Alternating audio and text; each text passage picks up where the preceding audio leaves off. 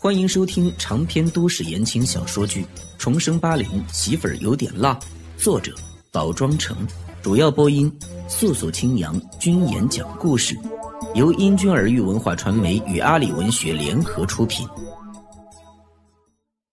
第一千零六十七集，原来是这样，李凤梅在火车上遇见了夏大军，夏大军身边还跟着个年轻女人。一看两人关系就不简单，李凤梅是怕阿芬瞧见了刺眼睛，小兰这个舅妈倒是挺护着阿芬。唐洪恩收回视线，小王，你开快点儿，一会儿人更多了，你也不好开出去。唐洪恩真的不怕夏大军，这种男人还不如京城有一面之缘的马索，马索还能让唐洪恩紧张下，被看成是情敌。唐洪恩让小王快开车，不是怕了夏大军，是不想让刘芬看了堵心。烦也烦死了，这种男人就不该继续出现在刘芬的视线中。小兰舅妈不错，一定是火车上遇见了夏大军，却没引起夏大军的注意。下了火车急着要走，也是怕夏大军看见阿芬再纠缠。不对，夏大军现在身边又有了个年轻的女人。一个曾经没钱的农民，现在新找了年轻的，看见阿芬这个前妻，岂不是会炫耀一番？若不是怕阿芬堵心，唐洪恩还真想原地不动，让夏大军带着女人过来炫耀，那他就能正大光明保护阿芬，让夏大军从此再也不敢造次。唐洪恩挺遗憾失去了一次机会，终究还是心疼刘芬的心情占了上风。不想夏大军那么糟心的人出现在刘芬面前。从火车站离开，李凤梅也松了口气。她着急去批发市场看新货，连招待所也不想去。汤洪恩自无不可。到了批发市场，李凤梅到处张望，感觉到了异样。阿芬，你有没有发现这批发市场有点变样了？哎，好像。变整洁了，乱哄哄的地方也有人打扫，还有带着红袖章的人巡逻。以前来时可不是这样。刘芬和李凤梅都奇怪。唐洪恩随口道：“不管什么市场，规模大了都要统一规划。阳城政府对这里重新规划过吧？阳城现在的服装市场很厉害，后来居上，在全国都有了名气啊。”以前别人进货是去护士，只认护士的衣服，现在转而认可阳城货。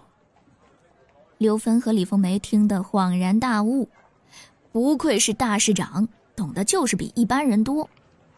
小王眼观鼻，鼻观心，他好像又学会了一招啊！领导说的那么正经，好像七月份时在批发市场被偷了钱包的是别人。当然要整顿啊！不整顿像话吗？市长的钱包都偷，普通老百姓该咋办？大军哥，总算是下了火车。长途坐车真不是享受，哪怕有卧铺睡。小雨毕竟是刚怀孕不久，闻着火车上的各种味道，着实难受。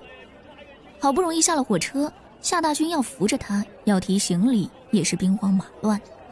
偏偏这时，夏大军还心不在焉，东张西望，小雨差点被人撞倒，对夏大军的走神儿也有意见。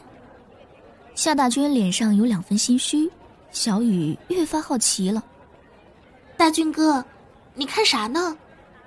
呃，好像，呃，看见个老乡，呃，可可可能是我认错人了。看见老乡，心虚啥呀？小雨眯着眼睛。他也是夏大军的老乡身份上位的，对所有老乡都很警惕。女老乡嘛，自然不用多说。哪怕是男老乡，大河村穷的叮当响，夏大军能认识的人哪个不是穷鬼？要是遇上了，夏大军说不定还要破点小财，那可不行。夏大军赚到的钱都是他的，现在他掌握夏大军的工资，更是名正言顺。毕竟两人已经领了结婚证。大俊哥，可能真是你看错了，我们还是赶紧回彭城吧。你要早点回公司销假，还得通知家里人我们结婚的消息。回了一趟老家，花了十来天，现在一算，小雨怀孕差不多三个月，也是能公布好消息了。夏大军就把刚才的事抛在脑后，他好像看见刘芬的娘家大嫂，在车厢里就认出来了，可身边带着小雨，夏大军怕李凤梅撒泼，也怕小雨多想，没敢上前打招呼。好在李凤梅也假装没看见他，他还故意慢点下火车。却没想到扶着小雨下来，正好看见李凤梅钻到了一辆小汽车里离开。夏大军跟在杜兆辉身边的时候，见惯了豪车，和大少爷的座驾比起来，李凤梅钻的小车自然很普通。但那毕竟是小车，李凤梅在，刘芬会不会也在车里？想到和服装店老板厮混的前妻，夏大军连后脑勺都在疼。就为了出入有辆破车，就不要廉耻了。他以前也没瞧出刘芬是这种人呢。那女人在他面前演了二十年戏，木讷老实，一副受气包的样子，都是假的。罢了，只要不在他面前出现，也不是人人都知道那是他夏大军的前妻，丢脸也丢不到他头上，丢的是夏小兰的脸。咋不管管他妈妈？不是找了个家世好的对象吗？男方家里要是知道刘芬不守妇道，对夏小兰肯定意见很大。夏大军对关慧娥威胁他夏小兰和他划清界限的事儿耿耿于怀。原本对夏小兰和刘芬有的几分愧疚，有了小雨后想法都变了。总惦记白眼狼女儿干啥？